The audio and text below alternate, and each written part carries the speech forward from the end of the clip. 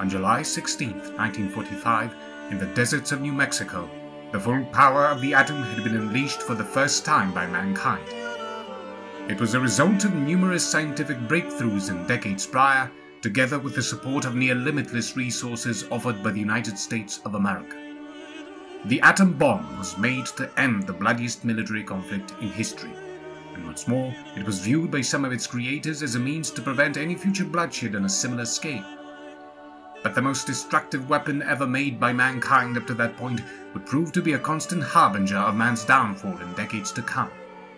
Here we will delve deep into the early history of the atomic age, starting from the theoretical conception of a nuclear weapon, its development during the most turbulent period of the 20th century, and its first and hopefully last use as a weapon of war.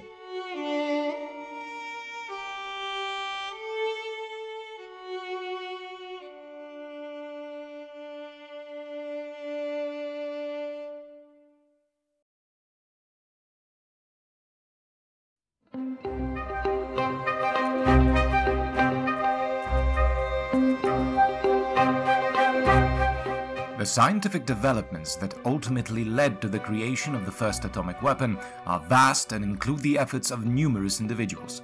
The scientist who made first massive leaps towards unlocking the secrets of nuclear energy is the man who discovered the atom nucleus, the father of nuclear physics and one of the greatest minds of the 20th century, the New Zealander Ernest Rutherford.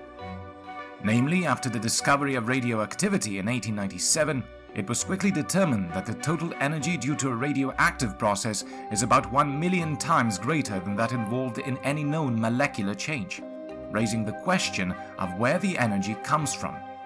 Rutherford suggested that this internal energy is stored within normal matter as well. He went on to speculate in 1904 if it were ever found possible to control at will the rate of disintegration of radio elements, an enormous amount of energy could be obtained from a small quantity of matter.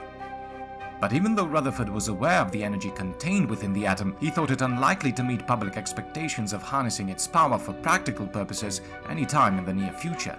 And as late as 1933, he frequently labeled such ideas as moonshine. Such skeptical sentiments were shared by some of the greatest minds at the time, including Niels Bohr and Albert Einstein. All of them would quickly be proven wrong. During the 1930s, a series of scientific discoveries would bring the idea of nuclear weapons outside of the realm of fiction and into reality.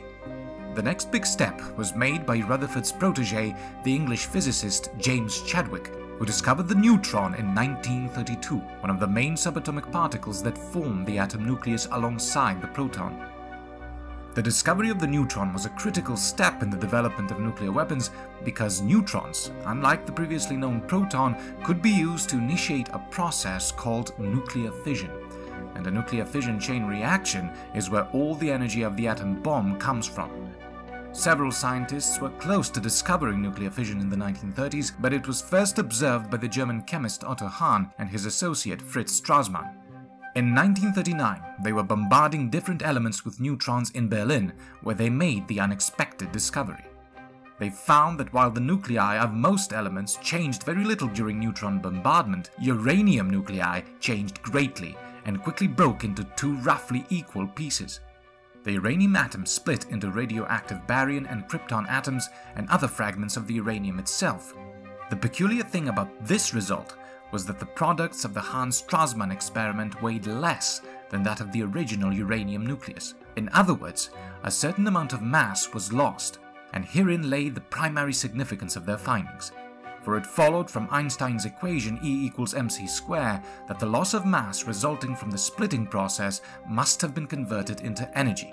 Calculations made by Hahn's former colleague Lise Meitner, a refugee from Germany, and her nephew Otto Frisch led to the conclusion that so much energy had been released that a previously undiscovered kind of process was at work.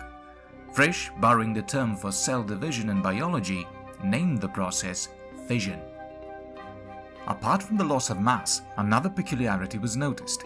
Namely, two to three additional neutrons from the uranium nucleus were released as a result of fission. For the scientists of the time, it wasn't difficult to conclude that because of this, a nuclear fission chain reaction was possible. In other words, when a uranium nucleus is hit by a neutron, it releases a great amount of energy and two additional neutrons.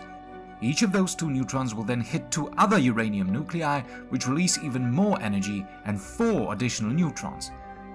If there are enough uranium nuclei close to each other, a nuclear chain reaction is created. The potential of this power was obvious from the beginning.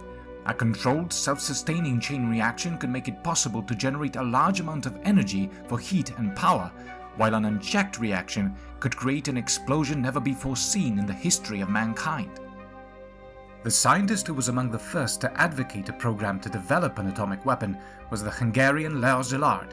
Szilard, along with other notable European scientists of the time who escaped to America during the 1930s, regarded it as their responsibility to alert the Americans to the possibility that German scientists might win the race to build an atomic bomb. But Szilard, knowing that he lacked the necessary influence on the United States government, asked his old friend, Albert Einstein, for help. Together, they drafted the famous Einstein-Szilard letter that was sent directly to the President of the United States, Franklin Delano Roosevelt. The letter, dated August 2, 1939, warned that this new phenomenon would also lead to the construction of bombs, and it is conceivable, though much less certain, that extremely powerful bombs of a new type may thus be constructed. A single bomb of this type carried by boat and exploded in a port might very well destroy the whole port together with some of the surrounding territory. However, such bombs might very well prove to be too heavy for transportation by air. Although it took some time for the letter to reach the president, in the end it partly led to the creation of the Uranium Committee in October of 1939. But the research under the supervision of said committee concentrated mostly on slow fission for power production and not strictly on nuclear weapon development. It would take some time before the Americans started taking the nuclear weapon program more seriously. One of the main reasons was the lack of certainty over the length of time necessary to build the bomb, its practical use, as well as the financial viability of such a program. And of course, there was also the fact that the Americans still weren't directly involved in the war. But things started to change quickly. The scientific report that offered reliable numbers in this regard for the first time was prepared by the British. The so-called Maud report, finished in June 1941, concluded that a bomb was feasible. It described it in technical detail and provided specific proposals for developing it, including cost estimates. And perhaps most importantly, it estimated that a critical mass of 10 kilograms of enriched uranium would be large enough to produce an enormous explosion. A bomb that size could be loaded on existing aircraft and be ready in less than two years. The findings of the Maud Committee made the bomb not only theoretically possible, it made it practically feasible. And after Pearl Harbor, it became a necessity. The Maud report was made available to the United States, where it energized the American effort, which eventually became the Manhattan Project.